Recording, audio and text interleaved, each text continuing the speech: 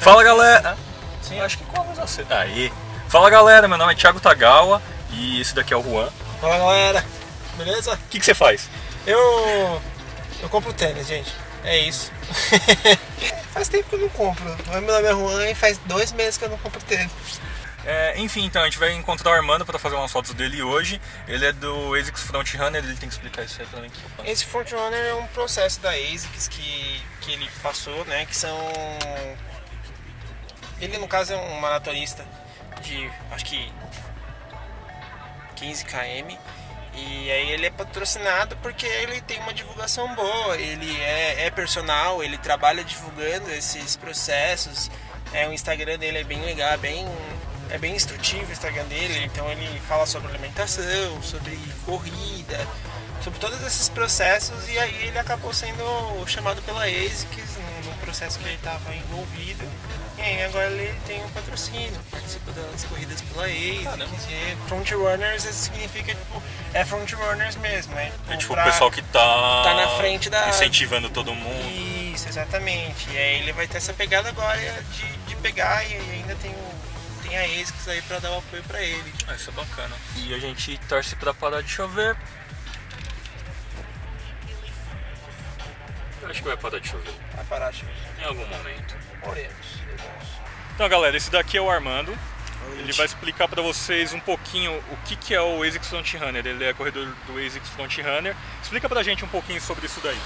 Bom galera, estou aqui com o Thiago. É, ASICS Front Runner é um projeto da marca ASICS, onde eles têm como objetivo juntar uma galera é, que pratica esportes, que tem um lifestyle assim saudável, que procura comer bem, procura se divertir, que tem uma vida equilibrada, que é o mais importante. É, pessoas que trabalham, pessoas que estudam, mas que ao mesmo tempo não deixam de cuidar de si mesmos.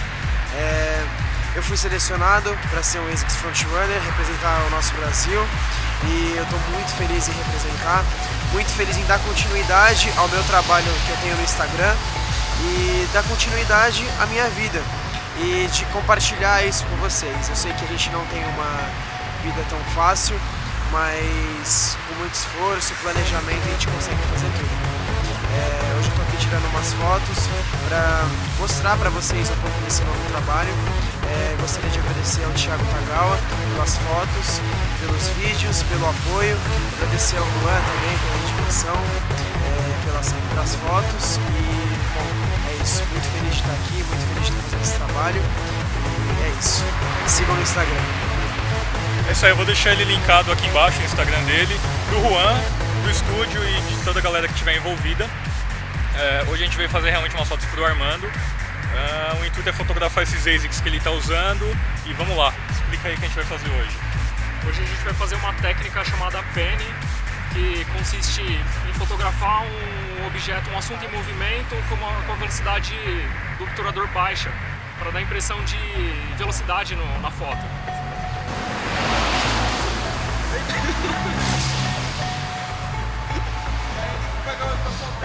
Eu quase acabei de perder meu guarda-chuva e sim, tá chovendo. A gente tá fotografando e filmando na chuva. Porque é isso que a gente faz, cara. A gente fotografa e a gente nunca tá na zona de conforto. Afinal, a gente tá de novo no centro do fotografando. A agora anda no centro do centro. Bom, vamos fazer isso aqui logo antes que comece a chover mais. É... Júlio, explica pra gente um pouco de velocidade de obturador. A velocidade do, do obturador, quando ela tá mais alta, ela consegue congelar o movimento. E nesse caso, a gente quer congelar o assunto, mas borrar o fundo, para dar a impressão realmente de velocidade na, na imagem. E do penny, Júlio, como que a gente vai usar o autofoco? A gente usa o autofoco, a gente usa no foco manual, como a gente vai fazer isso daí? A gente usa o, o autofoco contínuo para que eu consiga acompanhar o, o assunto principal e, e, o foco mantenha na, no mesmo ponto. É, boa parte dessas fotos de penny, o Júlio acho que ele vai fazer com 24 do não, com a 70 200, né? Com as duas. As duas? Legal. A 70 200 acho que vai ficar um pouco mais fácil para vocês, para a galera que está começando, uma lente mais longa, acho que fica mais fácil de fazer o penny. Porque como o assunto está mais longe, você tem, é, dá a impressão de que ele está se deslocando mais devagar. Então o deslocamento que você vai ter que fazer com a câmera, o movimento que você vai ter que fazer para o penny vai ser menor. Dessa forma fica um pouco mais fácil. Se a lente tiver estabilizador, fica um pouco mais fácil. A chance de você conseguir uma foto nítida é muito maior. E o penny ele pode ser feito com qualquer coisa em movimento, igual esses carros aqui atrás. O Exato. Agora o Júlio vai mostrar para vocês como é que é o movimento que você tem que fazer para fazer o penny.